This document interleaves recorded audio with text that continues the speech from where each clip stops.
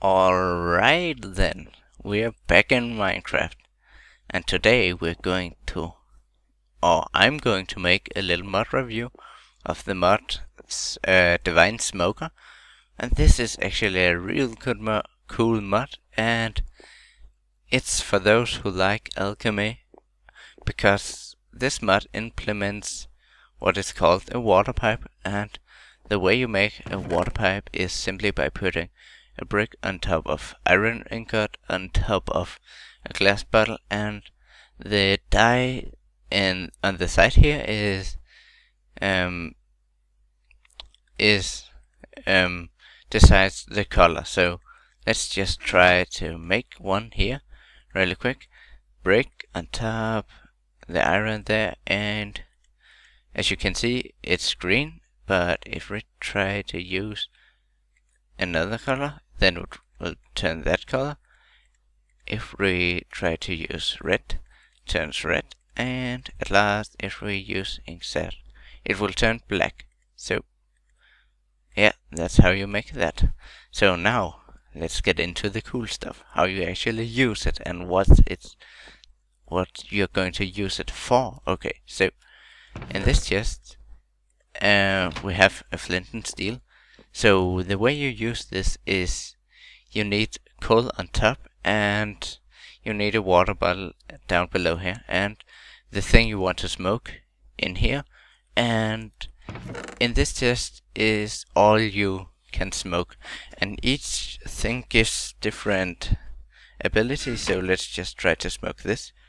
And as you can see we get speed 2 minute speed and well, that's pretty nifty, but if we try to smoke this uh, something else, like the watermelon, uh, we can see, uh, well, uh, the hunger, the watermelon actually gives you life, so that's why it doesn't show up here in the menu. But if you smoke too many things, you will get these effects, these bad effects. But yeah, as you can see, this is all you can smoke.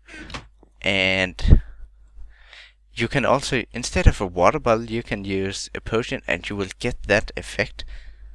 The, but it's a little bit different because the potion will be one stronger, but also one um, one third. Um, it will decrease the time by one third. So this is going to be potion potion of strength 2 and it's going to have a duration of 2 minutes. And this will give fire resistance. So let's just try to smoke it and see what's happened. Oh dang it. And as you can see we got strength 2 in 2 minutes and fire resistance. And to get all those effects and nasty effects away you can simply smoke some bone meal like this. And you're back to normal.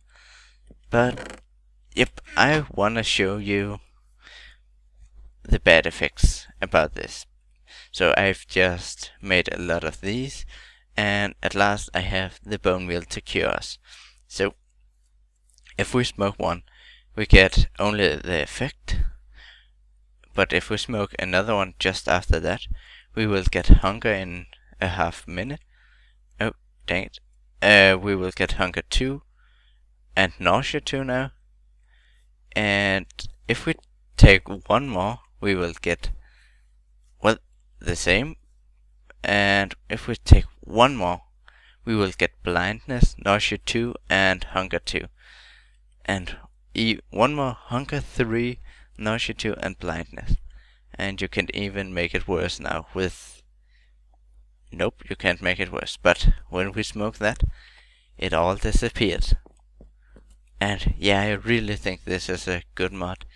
And it, I think, I think it blends so nice in with the game because it's not overpowered at all uh, because of the bad effects. And yeah, I really like how it looks. It really looks something that could be have been implemented by a Dinnerbone or Jeb or some someone like that.